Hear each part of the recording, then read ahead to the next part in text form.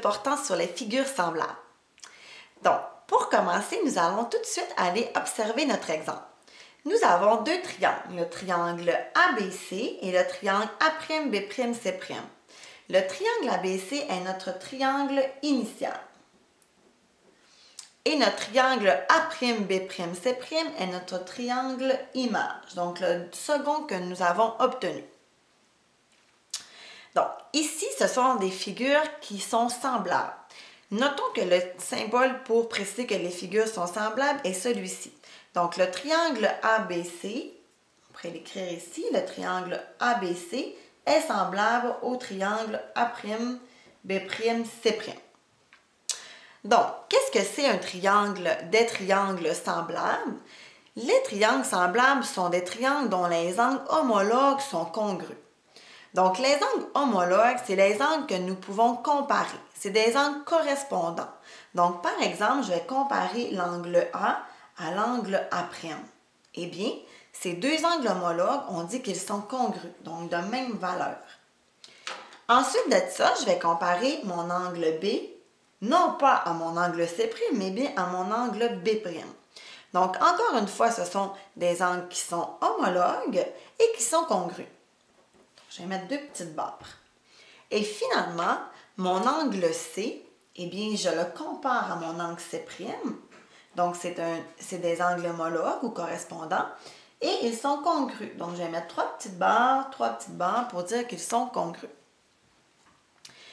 En ce qui a trait aux côtés dans les triangles semblables, eh bien, encore une fois, nous devons comparer les côtés homologues ou correspondants. Donc, je vais comparer mon côté AB, non pas à mon côté B'C', mais bien à mon côté A'B'.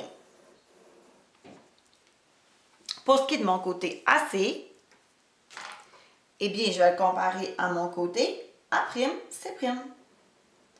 Et finalement, pour ce qui est de mon côté BC, eh bien, je vais le comparer avec mon côté B'C'.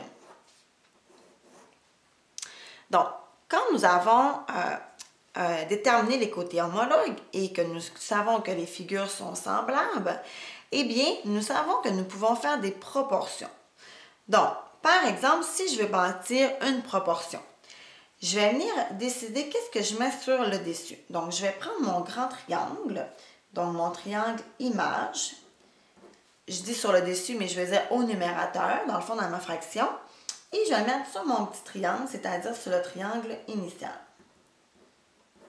Et je vais aller voir, dans le fond, euh, les deux paires de côtés que je connais. Donc, je connais la paire de côtés rouge, donc 8 et 4. Donc, je vais venir voir avec 8 et 4. Donc, le grand triangle, le côté rouge est 8 et le petit triangle, le côté rouge est 4. Et je vais venir comparer pour le moment avec le côté euh, vagué noir dont je connais les deux mesures, donc 4 et 2. Donc, vagué noir. Donc, le grand triangle 4 et le petit triangle 2. Si je regarde 8 divisé par 4, parce que mon trait de fraction, c'est une division, eh bien, je vais m'apercevoir que 8 divisé par 4 me donne 2. Et de la même manière, si je fais 4 divisé par 2, eh bien, ça me donne 2 aussi. Donc, vous voyez ici que les côtés que j'ai analysés sont de longueur proportionnelle. De la même manière, j'aurais pu aussi chercher à trouver le cas. Donc, comme vous l'avez appris, pour trouver ma valeur de cas, je dois prendre les mesures images, donc des côtés images, sur les mesures des côtés de la figure initiale.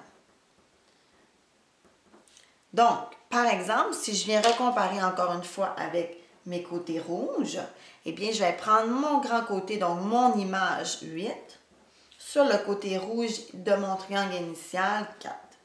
Donc, très important de comparer les côtés homologues. Donc, j'ai pris les deux rouges et j'ai pris soin de mettre mon image, donc 8 sur mon initial 4. Et je m'aperçois que mon cas, eh bien, c'est 2. Donc, en effet, on l'avait aussi trouvé en bâtissant notre proportion parce qu'on avait mis notre image sur notre initiale. Donc, Ce qui m'amène dans le fond à vous redire qu'au niveau des triangles semblables, les côtés ne sont pas congrus comme au niveau des angles. Les angles sont vraiment congrus de même mesure. Par contre, au niveau des côtés, c'est qu'on peut trouver un facteur d'agrandissement ou encore de réduction, un rapport K. Comme ici, je m'aperçois que de 4 à 8, eh bien, on a fait x2. Et de, 5, de, de 2 à 4, on a fait x2 également. Et quand on veut aller dans le sens inverse, si je change de couleur, eh bien, c'est l'inverse. On va de l'autre côté, on divise par 2. Même chose ici, on divise par 2. Donc, dans les triangles semblables, eh bien, c'est toujours le même facteur K pour chacun des côtés. Donc, quand la question est de trouver un côté qui est manquant, eh bien, je peux procéder par deux manières. Et là, je vais devoir monter légèrement ma feuille. Donc, je peux procéder d'abord par mon facteur K, c'est-à-dire que je vais partir de ma valeur euh, de mon côté BC pour avoir mon côté B'C'. Et puisque je vais aller du petit triangle vers le... Oups, excusez-moi. Du petit triangle vers le grand, et eh bien comme ici, du petit vers le grand, du petit vers le grand, j'aurais dû le faire en rouge. Eh bien, je vais faire un fois 2. Donc, du petit vers le grand, j'obtiens ici mon côté 10. Donc, une méthode pour trouver dans le fond mon inconnu serait de prendre dans le fond la mesure du côté BC, de le multiplier par le facteur K, donc 5 fois 2, et d'obtenir dans le fond euh, le chiffre 10 qui correspondrait à ma mesure de mon côté B'C', comme je l'ai fait ici. L'autre méthode serait, de, fonctionner avec les proportions. Donc, par exemple, je pourrais reprendre ce que j'avais débuté tout à l'heure. Donc, encore une fois, je vais remonter pour faire ma deuxième méthode. Donc, j'avais décidé de faire une proportion avec mon grand triangle sur le dessus, c'est-à-dire mon image, et mon petit triangle en dessous, c'est-à-dire mon initial. Et par exemple, je pourrais venir réutiliser euh, les côtés rouges. Donc, les côtés rouges, en fait, mon grand triangle, son côté rouge était 8. Et mon petit triangle, son côté rouge était 4. Et dans le fond, ici, je le sais que euh, c'est une proportion. Donc, je peux mettre un égal puisque je sais que mes triangles sont semblables. Donc, maintenant, la donnée que je veux, c'est les côtés bleus. Donc, tout à l'heure, je n'ai pas utilisé les côtés bleus pour vous montrer qu'il y avait vraiment une égalité. Mais puisque là, on recherche une mesure manquante, eh bien, je vais travailler avec les côtés où est-ce que la mesure manquante, elle est. Donc, au niveau de mes côtés bleus, eh bien, c'est le grand que je veux, c'est-à-dire celui image. Donc, mon inconnu est ici.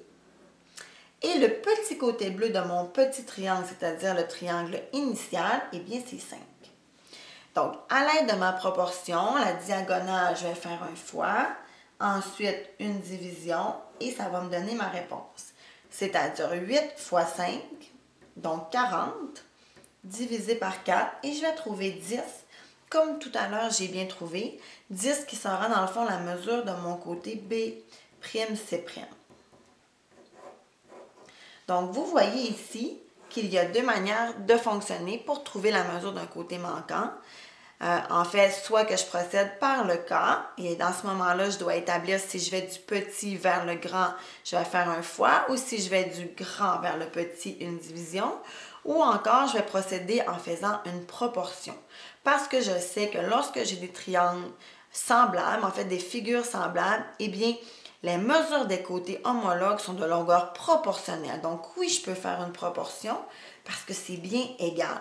Et n'oubliez surtout pas que lorsque vous bâtissez une proportion, bien vous devez venir établir quel triangle vous mettez au numérateur, au dénominateur et quelle paire de côtés est-ce que je compare? Vous deviez bien prendre les côtés homologues. Ce qui met fin à cette capsule et je vous dis à une prochaine capsule.